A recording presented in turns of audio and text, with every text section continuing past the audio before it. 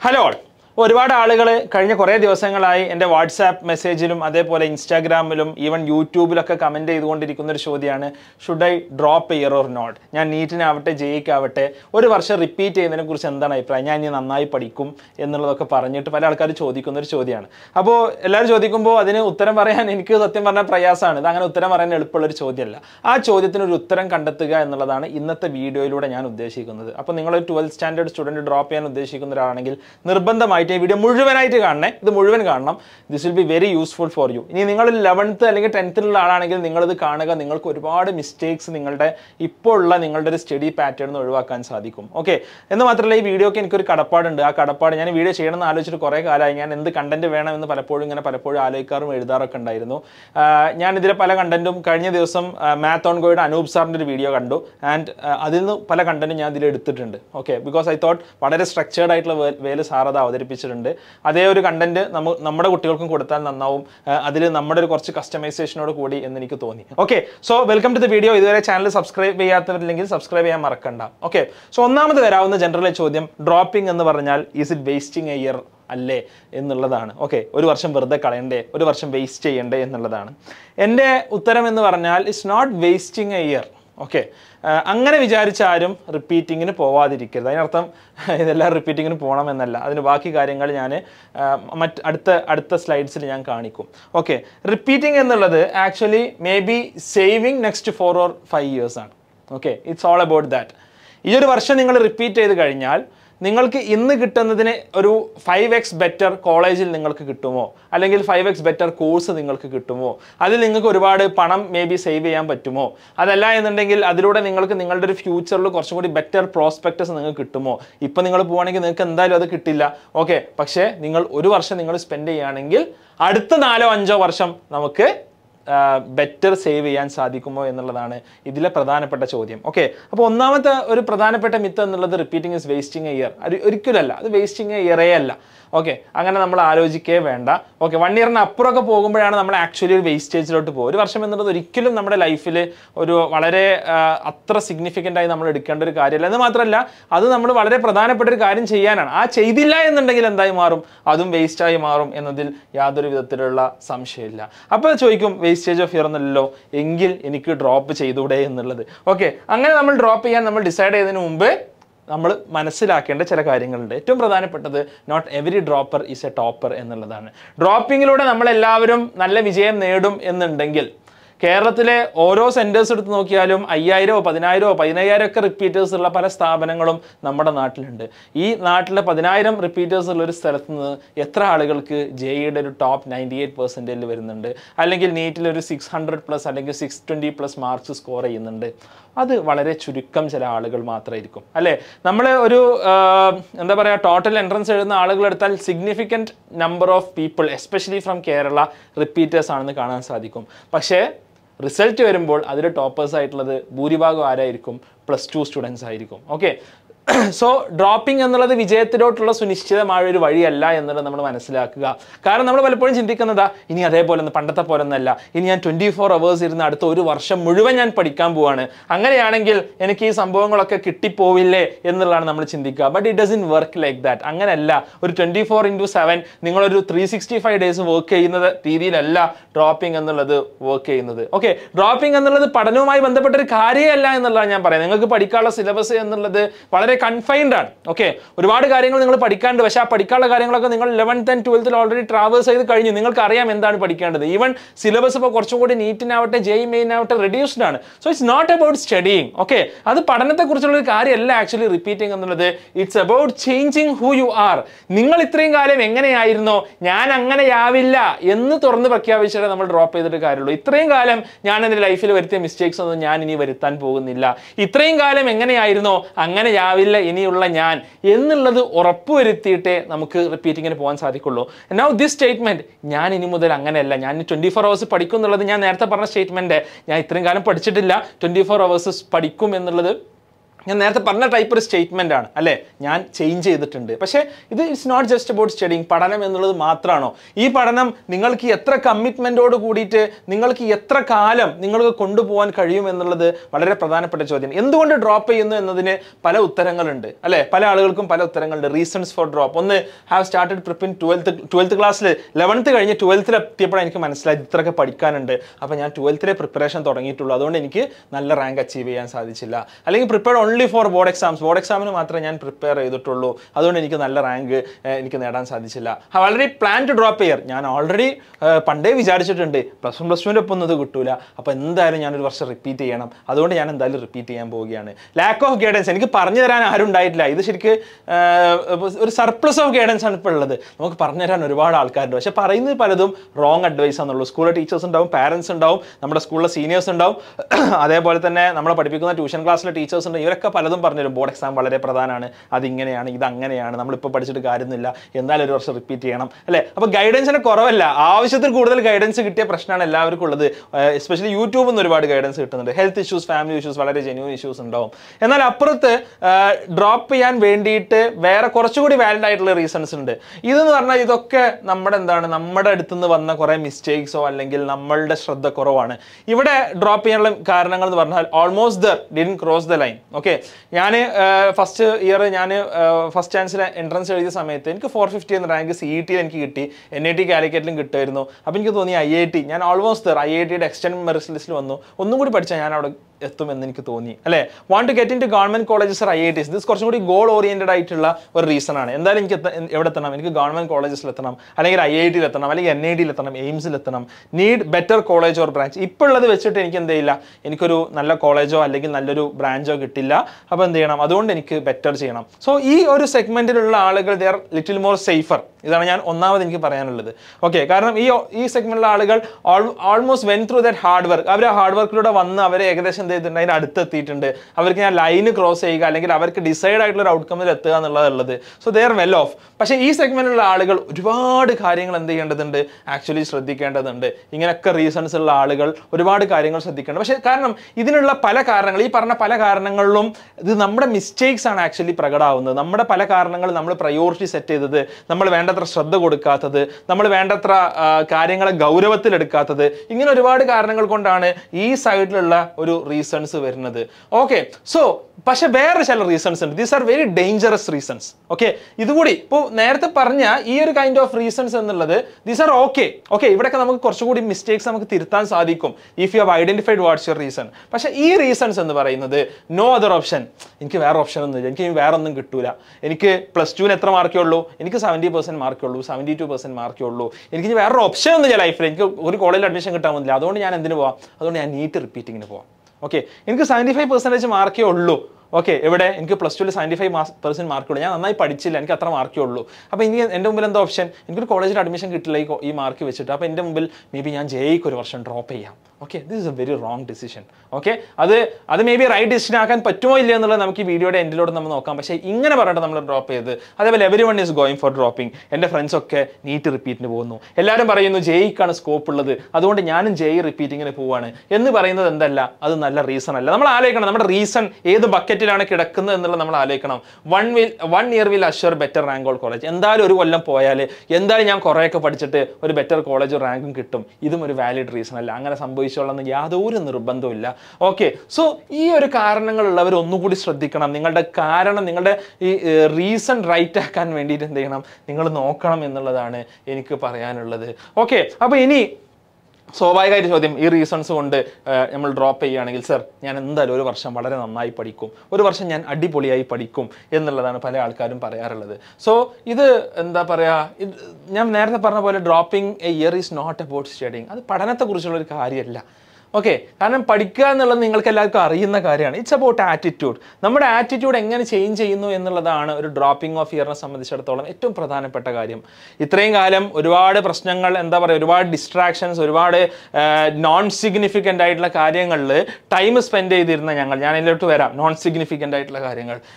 എന്റെ ആറ്റിറ്റ്യൂഡ് എനിക്ക് മാറ്റാൻ സാധിക്കുമോ എന്റെ ലൈഫിൽ ഇമ്പോർട്ടന്റ് ആയിട്ടുള്ള ഒരു കാര്യത്തിന് സമയം മാറ്റി വെക്കാൻ എനിക്ക് സാധിക്കുമോ അതിനുവേണ്ടി എന്റെ മിസ്റ്റേക്സ് ഐഡന്റിഫൈ ചെയ്ത് ആ മിസ്റ്റേക്സ് മിസ്റ്റേക്സ് ഐഡന്റിഫൈ ചെയ്യുക എന്നുള്ളത് മിസ്റ്റേക്സ് കറക്റ്റ് ചെയ്യുക എന്നുള്ളത് നമ്മുടെ ഈഗോനെ ഹേർട്ട് ചെയ്യുന്ന ഒരു സംഭവമാണ് അല്ലേ? അപ്പം അങ്ങനെ എനിക്ക് ചെയ്യാൻ സാധിക്കുമോ എന്നുള്ള നമ്മുടെ ആറ്റിറ്റ്യൂഡ് ചേഞ്ച് കൂടിയാണ് ഡ്രോപ്പിംഗ് ഓക്കെ കമ്മിറ്റ്മെന്റ് ആണ്. അല്ലേ? എനിക്ക് പഠിക്കാൻ സാധിക്കും. ഞാൻ പഠിക്കാൻ സാധിക്കും എന്ന് പറഞ്ഞിട്ട് ഇതാ നിങ്ങൾ ലെവൻത്ത് തുടങ്ങിയപ്പോൾ നിങ്ങൾ എന്തൊക്കെ ആലോചിച്ചിട്ടുണ്ടാവും ഞാൻ എന്നും പഠിക്കും. ഞാൻ പണ്ടത്തെ പോലെ ആവില്ല. അല്ലെങ്കിൽ ടെൻത്ത് സ്റ്റാൻഡേർഡ് തുടങ്ങിയപ്പോൾ നിങ്ങൾ എങ്ങനെയായിരിക്കും അല്ലെങ്കിൽ ട്വൽത്ത് തുടങ്ങിയ സമയത്ത് നിങ്ങൾ എങ്ങനെയായിരിക്കും അല്ലേ? ലെവൻത്തിലെ യൂണിറ്റ്സ് ആൻഡ് ഡയമെൻഷൻസ് ഒക്കെ നമ്മൾ അരച്ചു കുലി കലക്കി കുടിച്ചിട്ടുണ്ടാവും അല്ലേ?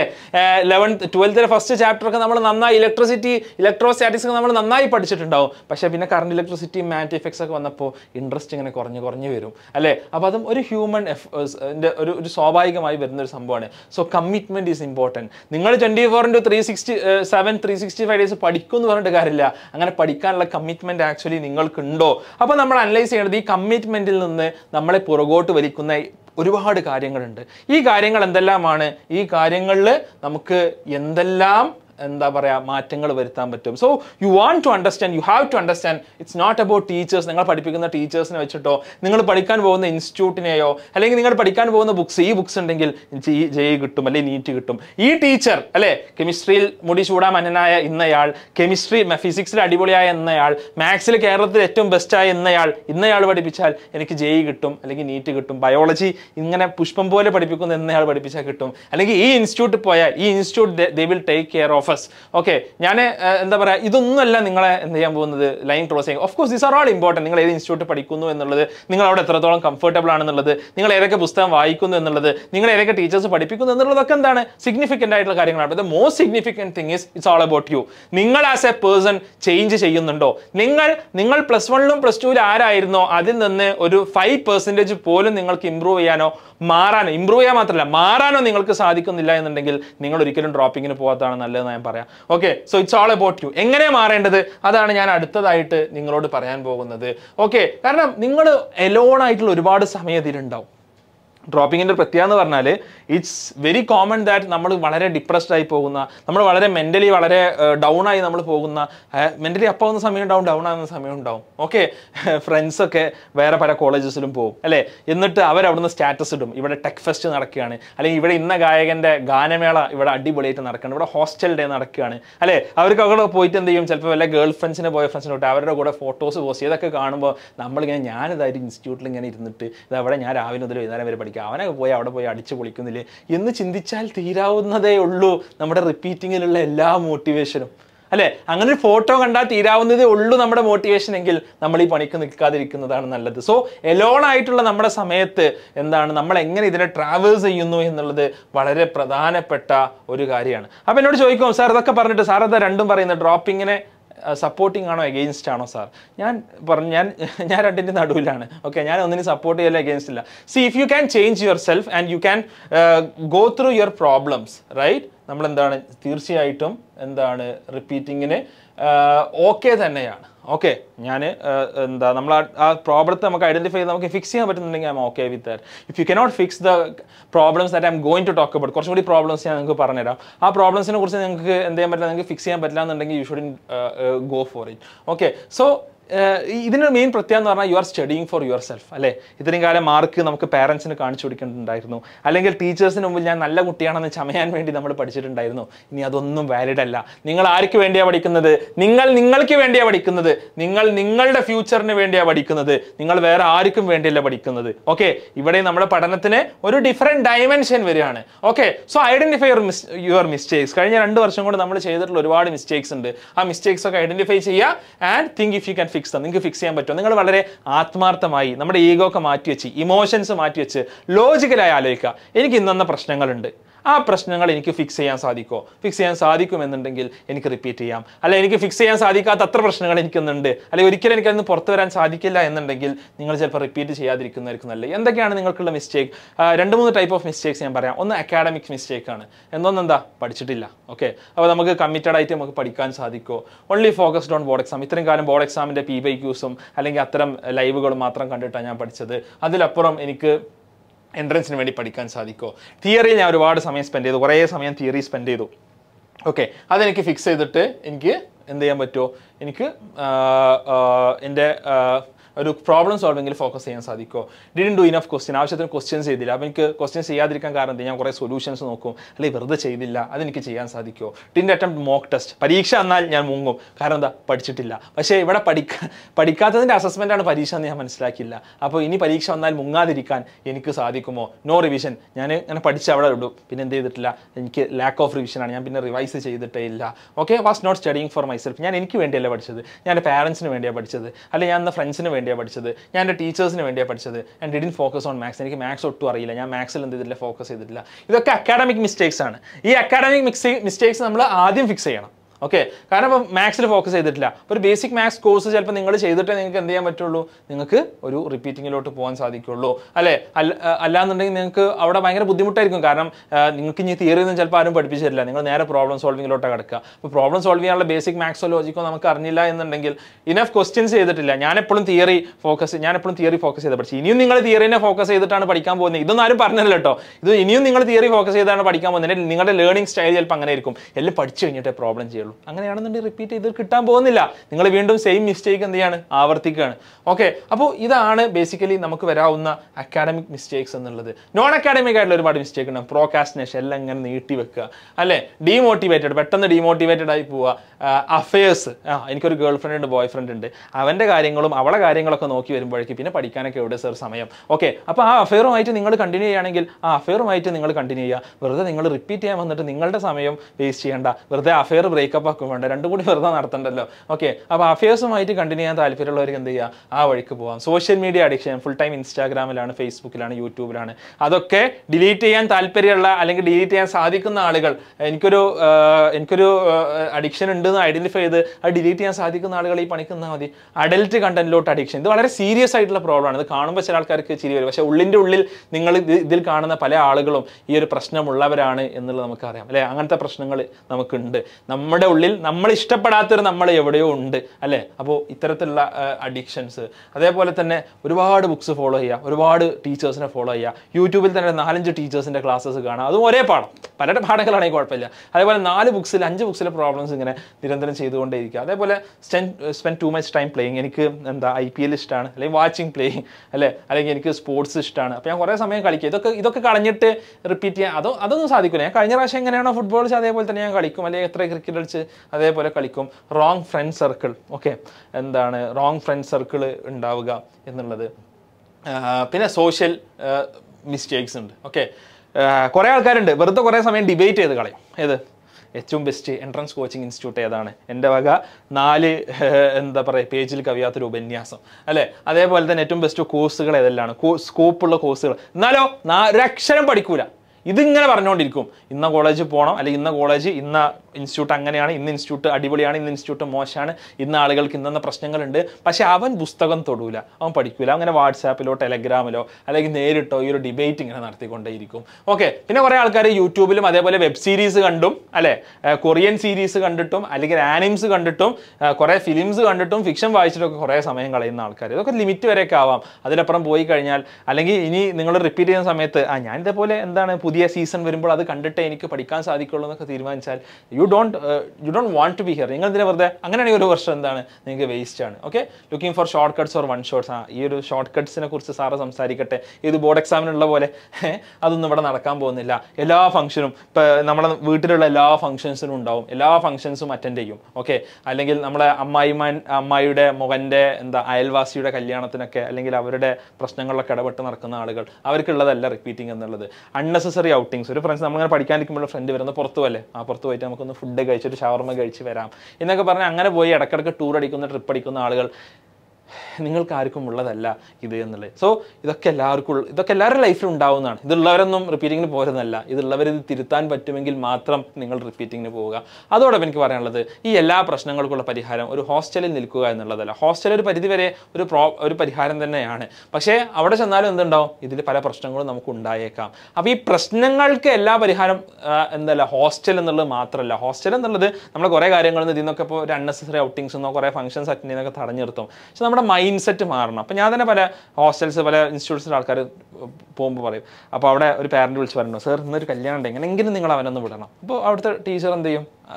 ആ കുട്ടികളെ പറഞ്ഞയക്കും. അപ്പോൾ കുട്ടിയുടെ മൈൻഡ് സെറ്റാണ് മാറേണ്ടത്. ആ ഒരു പരിപാടി ഉണ്ട്. ആ പരിപാടിക്ക് ഞാൻ പോകേണ്ടതല്ല എന്നുള്ള മൈൻഡ് സെറ്റ് ഇല്ലാതെ അവിടെ ഹോസ്റ്റലിൽ നിന്നുള്ള എന്ത് സംഭവിക്കുക? അവൻ ഇങ്ങനെ ഹോസ്റ്റലിൽ നിന്ന് ആകെ ഇടങ്ങാറാവും. എനിക്ക് ആ പരിപാടിക്ക് പോകാൻ പറ്റില്ല. അവിടെ ബിരിയാണി ഉണ്ടാവും. അല്ലെങ്കിൽ അവിടെ ബ്രോസ്റ്റ് ഉണ്ടാവും. അവിടെ ഇന്നുന്ന ഫുഡ് ഉണ്ടാവാൻ സാധ്യതയുണ്ട്. അവിടെ ഇന്നുന്ന ആളുകൾ വരാൻ സാധ്യതയുണ്ട്. അവരൊക്കെ കാണാനുള്ള ഒരു ചാൻസ് മിസ്സായാലോ എന്ന് ആലോചിച്ച് അവന് ഹോസ്റ്റലിൽ നിന്നിട്ട് പ്രത്യേകിച്ച് എന്തെങ്കിലും കാര്യമുണ്ടോ? ഇല്ല ഹോസ്റ്റലിൽ നിന്നിട്ട് വെറുതെ ടൈം വേസ്റ്റ് ആവും. അല്ലേ?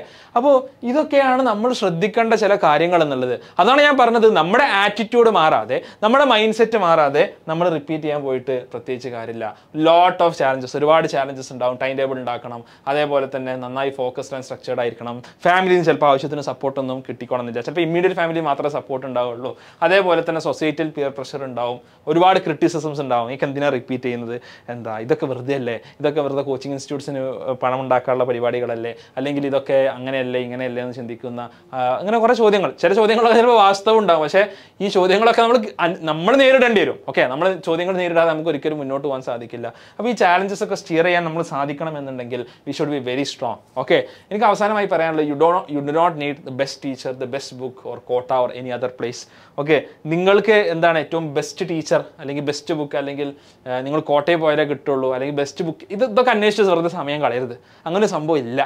ഓക്കെ നീറ്റ് കിട്ടാൻ സി നമുക്ക് നമുക്ക് വയസ്സായിട്ടുള്ള നമുക്ക് ലോജിക്കലായിട്ടുള്ള ഡിസിഷൻ നമുക്ക് എടുക്കാം. ഇന്ന് ഇൻസ്റ്റിറ്റ്യൂട്ടിൽ പോകണം ഇന്ന് ഇൻസ്റ്റിറ്റ്യൂട്ടിൽ ഇന്ന കാരണങ്ങളാൽ പോകണം അത് പല കാരണങ്ങളുണ്ടാവാം അവിടെ ഭൂരിഭാഗം ഇൻസ്റ്റിറ്റ്യൂട്ട്സിൽ നല്ല ടീച്ചേഴ്സും നല്ല ബുക്സും നല്ല ആളുകളൊക്കെ ഉണ്ട്. ചില ചില സ്ഥലങ്ങളിൽ എന്തുണ്ടാവും? നിങ്ങൾ പല ഡിസിഷൻസ് എടുക്കാൻ പല കാരണങ്ങളുണ്ടാവും ചില ആൾക്കാർക്ക് കൂടുതൽ കോമ്പറ്റീഷൻ ഉള്ള സ്ഥലത്ത് പോകണം. ചില ആൾക്കാർക്ക് കുറഞ്ഞ നമ്പർ ഓഫ് കുട്ടികളുടെ അടുത്ത് പോകണം. എന്നാലേ എനിക്ക് ഒന്നും കൂടിയും ഒരു പേഴ്സണൽ അറ്റൻഷൻ കിട്ടുള്ളൂ. കാരണം നിങ്ങൾ ഈ പറഞ്ഞ ഓരോ പ്രോബ്ലംസും നിങ്ങൾക്ക് യുണീക്കാണ് ഈ യുണീക്കായിട്ടുള്ള പ്രോബ്ലംസിന് നിങ്ങൾക്ക് സൊല്യൂഷൻ തരുന്നത് ആരാണോ? അവരുടെ കൂടെ നിങ്ങൾ പൊയ്ക്കോളും. അല്ലേ? അതാണ് എനിക്ക് പറയാനുള്ളത്. You need only one book ഒരു ബുക്ക് നന്നായിട്ട് പഠിക്കാൻ.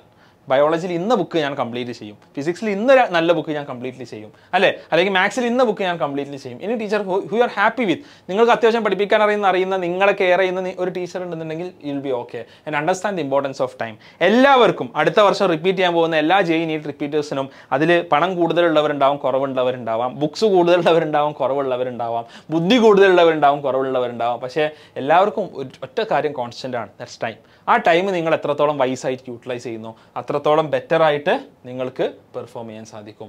സോ ലാസ്റ്റ് പോയിന്റ് ഓക്കെ അതിനു മുമ്പ് റിപ്പീറ്റേഴ്സിന് വേണ്ടിയിട്ട് ഞാൻ ചില വർക്ക്ഷോപ്സ് ഒക്കെ കഴിഞ്ഞ വർഷം കണ്ടക്ട് ചെയ്യുന്നു. ഈ വർഷം കണ്ടക്ട് ചെയ്യാൻ ഉദ്ദേശിക്കുന്നുണ്ട്. സോ അതിനുള്ള ഒരു വാട്സാപ്പ് ഗ്രൂപ്പ് ലിങ്ക് ഞാൻ റിപ്പീറ്റ് ചെയ്യാൻ ഉദ്ദേശിക്കുന്നവർക്കുള്ള വാട്സാപ്പ് ഗ്രൂപ്പ് ലിങ്ക് ഞാൻ താഴെ നൽകുന്നുണ്ട്. I be doing a three to four hours workshop okay എങ്ങനെ പഠിക്കണം? ഈ പറഞ്ഞ ഡിസ്ട്രാക്ഷൻസ് ഒക്കെ നമുക്ക് ഒഴിവാ എങ്ങനെ ഒഴിവാക്കാം? എന്ന് തുടങ്ങിയ കാര്യങ്ങളുള്ളതാണ്. So if you want to join അത് ഞാൻ ഡിസ്ക്രിപ്ഷനിൽ കൊടുക്കാം.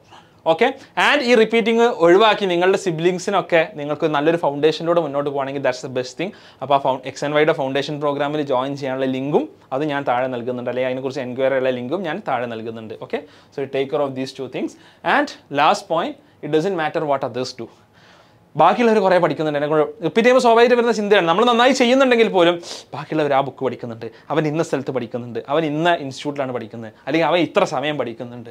Okay doesn't matter it doesn't matter what others think about you നിങ്ങളെക്കുറിച്ച് ബാക്കിയുള്ളവർ എന്ത് ചിന്തിക്കുന്നു എന്നുള്ളത് ആ ഒരു ചിന്ത മനസ്സിൽ നിന്ന് കട്ട് ചെയ്യാൻ പറ്റുന്ന ആളുകൾക്ക് മാത്രമേ നന്നായിട്ട് ഒരു സ്ഥലത്ത് പോയിട്ട് റിപ്പീറ്റ് ചെയ്ത് ഡ്രോപ്പ് ചെയ്ത് പഠിക്കാൻ പറ്റുള്ളൂ. It's all about what you do it's all about what you do നിങ്ങൾ എന്ത് ചെയ്യുന്നു? നിങ്ങൾ എങ്ങനെ നിങ്ങളുടെ next three sixty five days ഉപയോഗിക്കുന്നു? നിങ്ങൾക്ക് എത്രത്തോളം നിങ്ങളുടെ മിസ്റ്റേക്സ് ഐഡന്റിഫൈ ചെയ്ത് അതിൽ നിന്ന് പാഠങ്ങൾ ഉൾക്കൊണ്ടുകൊണ്ട് നിങ്ങൾക്ക് മുന്നോട്ട് പോകാൻ സാധിക്കും. That's all what matters okay so this is the most important advice that I wanted to give you നിങ്ങളുടെ കൺസേൺസ് നിങ്ങളുടെ ചോദ്യങ്ങൾ നിങ്ങളുടെ തോട്ട്സ് ഈ വീഡിയോ കണ്ടതിന് ശേഷമുള്ള നിങ്ങളുടെ തോട്ട്സ് ഈ വീഡിയോയിൽ നിങ്ങൾക്ക് റിലേറ്റ് ചെയ്യാൻ സാധിക്കുന്നുണ്ടോ? നിങ്ങൾക്ക് ഇത് ഹെൽപ്ഫുൾ ആയി തുടങ്ങിയ കാര്യങ്ങൾ നിർബന്ധമായിട്ടും വളരെ ഡീറ്റെയിൽഡ് ആയിട്ട് തന്നെ കമന്റ് ചെയ്യുക. കാരണം ഇതിന്റെ കമന്റ് സെക്ഷൻ ഞാൻ മുഴുവനായിട്ട് വായിക്കുകയും അതിൽ പരമാവധി ഞാൻ റെസ്പോൺസ് തരികയും ചെയ്യും എന്നുള്ളത് ഞാൻ ആലോചിച്ചിട്ടുള്ളൊരു കാര്യമാണ്. നിങ്ങളുടെ മിസ്റ്റേക്സ് എന്തെല്ലാമാണ് ഐഡന്റിഫൈ ചെയ്ത് താഴെ ഇടുക. ഇതിൽ പറയാത്ത ഒരുപാട് മിസ്റ്റേക്സ് ഉണ്ടാകും ഞാൻ പെട്ടെന്ന് ആലോചിച്ച് അതേപോലെ അനൂപ് സാർ ലിസ്റ്റൊക്കെ നോക്കി ഞാൻ ലിസ്റ്റ് ലിസ്റ്റ് ഡൗൺ ചെയ്തതാണ്. ഇതിലില്ലാത്ത മിസ്റ്റേക്സ് ഉണ്ടാവാം. ആ മിസ്റ്റേക്സ് നിങ്ങൾ എന്ത് ചെയ്യാം? നിങ്ങൾക്ക് ലിസ്റ്റ് ഡൗൺ ചെയ്യാം.